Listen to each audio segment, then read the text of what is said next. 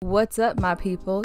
Today I'm going to show you how to do this super simple light animation in Procreate. Let's go ahead and get started.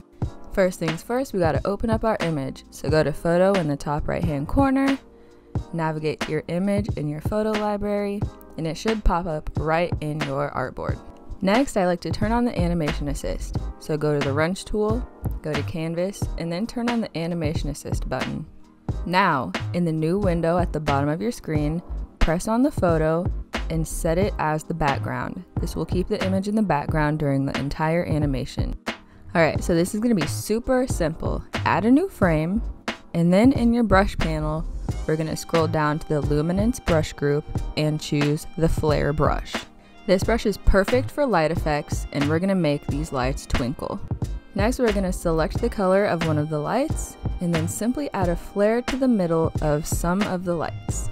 Notice that I didn't add a flare to all of the lights. That's because we're going to add a new frame, select a color of another light, and then add a flare to the rest of the lights on this next frame. Alright, so let's see what our animation looks like so far. Press play in the bottom left corner, and oh my gosh. To change the speed, just go to settings and knock down the frames per second.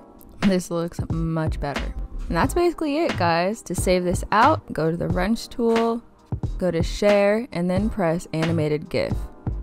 You may have to adjust the frames per second again if you want it to go faster or slower, but besides that, just press export. From here, just choose where you want to save your image. I usually just press save image and it should drop it right into my image library. Just like that. And look at those twinkling lights. I hope you guys learned something from this video, and until next time, peace out.